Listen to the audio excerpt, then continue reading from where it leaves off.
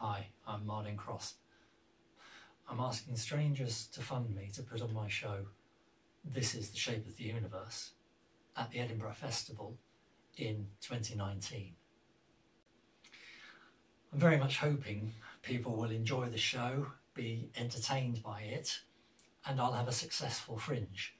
And on the strength of that, I'll be able to go on tour and take my show initially countrywide, ultimately worldwide. I'm asking strangers, not friends and family, to fund me to put on this show. And I'm hoping you will. I'm hoping you'll fund me. Why would you do that? Well, probably the first and foremost reason is so that you can come and see the show. Uh, you may not be in Edinburgh in 2019, however, funding me to have a successful run means that you can come and see me when I'm on tour. So that's one reason why a stranger would fund me. Why am I only asking strangers? Why am I not asking friends and family? Well, two very simple, small reasons. The first is because I, I've got to generate publicity for the show, and I'm not going to generate that by asking friends and family. So the other reason is that friends and family very probably would fund me, but that's the problem. They'd be funding me. It's not helpful to the project to have me personally be able to do what I want to do. So therefore, if I don't get funding from strangers, that sends me the message that what I'm doing, I'm either not doing right or it isn't the right thing to do. Uh, either way, I've got to take that on the chin. I was going to say there's no choice.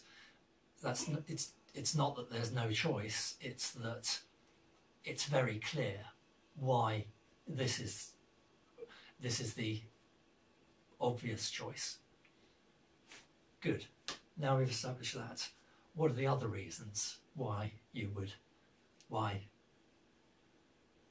a stranger would, and I very much, I'd be very grateful if you were the stranger. What are the other reasons why a stranger might fund me putting on this show? well, you'll have the opportunity to come to the show, and while you're at the show, your questions will be answered. That doesn't mean you'll come away knowing what the shape of the universe is.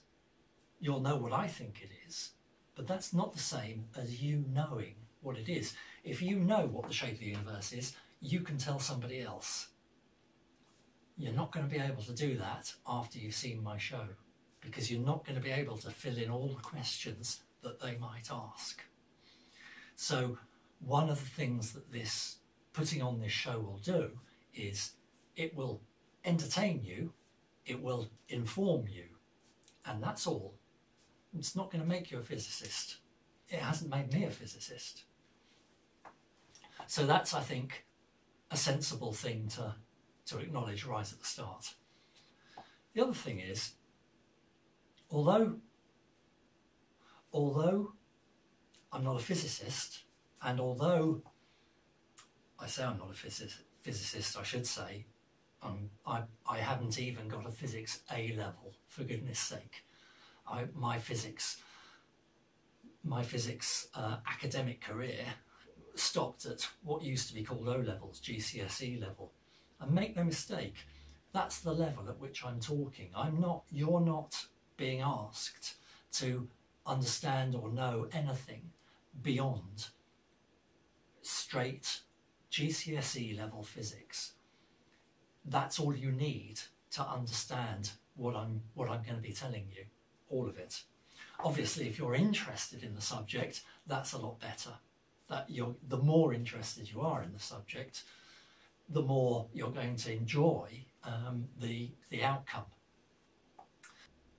As well as it being a, a as well as it being a, a an entertainment, um, it also has a serious purpose, because the other reason for putting on a show is there isn't anybody anybody in the world that I can go to and say, I think I know the shape of the universe. Can you just check this and tell me if I'm right?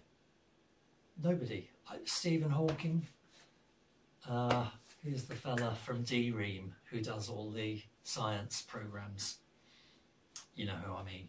Uh, I've acknowledged elsewhere that the cleverest person I have known it, throughout throughout my adult life was my uncle Frank. Um, time marches on, and he is now an old man, so that mantle has to pass to somebody else. As I've been thinking, it might have already done. So there isn't anybody that I can go to to say, "Can you check this?" And in fact, the uh, the to my way of thinking, arguably, arguably, the best possible way to do this is to do what I'm doing, which is to put on a talk and then at the end of the talk say, Am I wrong? If I'm wrong, tell me. I'll give you.